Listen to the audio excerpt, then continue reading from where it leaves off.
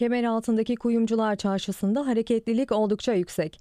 Altın alımının tavan yaptığı yaz aylarında fiyatlardaki düşüş vatandaşın işine geldi. Ramazan ayının sonrasına ertelenen düğünler için vatandaşlar şimdiden altın alımlarını gerçekleştiriyor. Altının düşüşüne az da olsa sevinen esnaflar da yok değil. Onlara göre altının düşmesiyle alım gücü arttı ve piyasaya canlılık geldi. Altın olarak borç alanlar da bu düşüşü iyi değerlendirerek altına hücum etti. Bazı esnaflarsa zaten önceki sezonlara göre az satış olduğunu söylerken bir de şimdi altının düşmesiyle iyice zarar ettiklerini söyledi. Öncelikle altın düştükten sonra işleriniz hangi yönde etkilendi acaba? Altının düşüşü e, insanların e, daha çok altını e, almaya sevk etti. E, ihtiyacı olanlar e, bekliyordu. Şu anda alma aşamasına geçtiler. Yani. Vallahi etkilenmedi pek e, düşüşte altın. Yani daha çok millet çeyrek altın alıyor. Çeyrek altın yüklendi.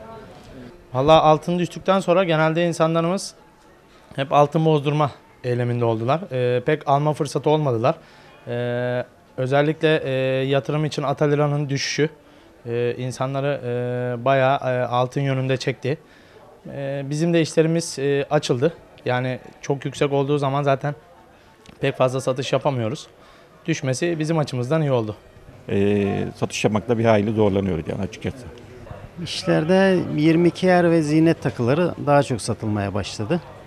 Yani biraz tabi hareket oldu. Peki gelen müşteriniz daha çok altın almaya mı yoksa satmaya mı geliyor sizlere? Almaya. Almaya geliyor. Pek satan yok. Şu anda altının düşüşüyle beraber e, genelde bizim insanlarımız hep e, alma eyleminde olması lazım. Ama e, bu aralar e, bir takım e, borçlar yüzünden ve e, belirli bir ekonomik sıkıntılar nedeniyle hep bozdurma eylemindeler. Altın alımı için. Düşük olduğu için kimse satmıyor tabi. İhtiyacı olan alıyor. İhtiyaç e, ev, araba almış veya borç, kredi kartı borcudur özellikle kapatmak için satmaya gelen de oluyor. Yani dengede şu anda. Genelde almaya geliyorlar. Çünkü hani borcu olanlar ucuzken alayım mantığıyla hareket ediyorlar ve hani borcum bir an önce düşük fiyattayken kapatayım diyorlar. Peki Ramazan ayının yaza denk gelmesi işlerinizi nasıl bir etki yarattı acaba? E tabii Ramazan'ın ilk 15 günü genelde durgunluk yaşanır. İnsanlar tabii e, şey ibadetleriyle yoğrulmaya karışıyor. O yüzden e, 15 günden sonra tahmin ediyorum biraz daha hareketlenmeye başlar. Bayram haftasıyla beraber çok yoğunlaşır. Çok fazla etkilemiyor. Niye? Düğün yapacak olanlar zaten bir ay önceden alışverişe çıkıyor. Yani onun için Ramazan'da da düğün alışverişine çıkanlar oluyor.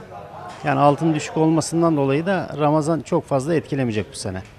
E, Bizim işlerimizi iyi yönde inşallah etkileyecek. Ramazan bereketiyle geliyor. Yaz sezonu okullar da kapalı. İnşallah aynı şekilde bereketli bir şekilde güzel bir Ramazan geçireceğiz.